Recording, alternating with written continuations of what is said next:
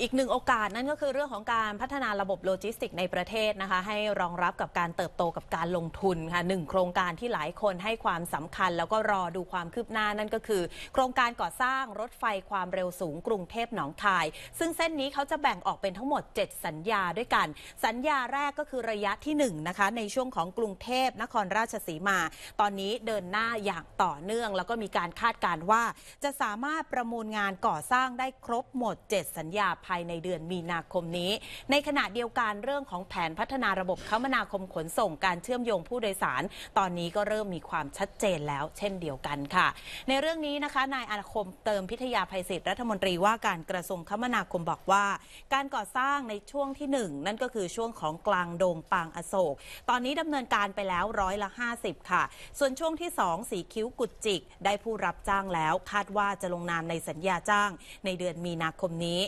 ส่วนสัญญาที่ 3 นะคะ ช่วงแก่งคอยกลางดง และปางอโศก บันไดม้า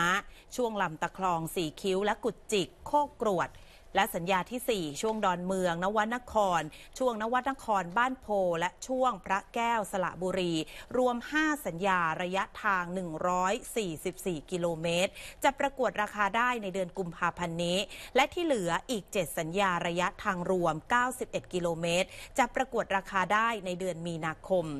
ด้านการปรับปรุงระบบขนส่งสาธารณะต่างๆนะคะเพื่อที่จะสนับสนุนผู้โดยสาร ให้กับระบบรถไฟความเร็วสูง จะมีการพัฒนาครงสร้างพื้นฐาน ด้านคมนาคมขนส่งในจังหวัดพระนครศรีอยุธยา ได้แก่ขยายถนนงามเขต ทางหลวงหมายเลข 3053 ทางหลวง 309 ทางหลวงขออภัยค่ะ ทางหลวง 3477 ทางหลวง 356 ให้เป็นถนน 4 ช่องทางจราจร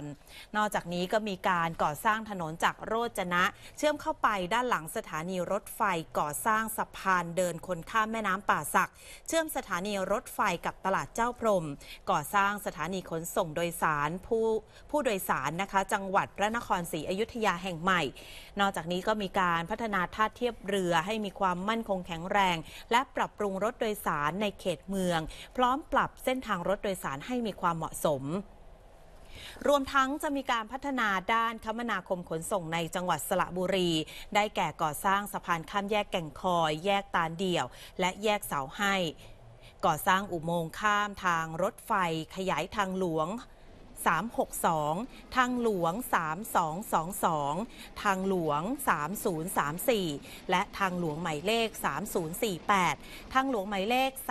3188 ให้เป็นถนน 4 ช่องจราจร ก่อสร้างเส้นทางขนานทางหลวง 362 และก่อสร้างถนนเชื่อมศูนย์ราชการกับสถานีรถไฟสระบุรีค่ะ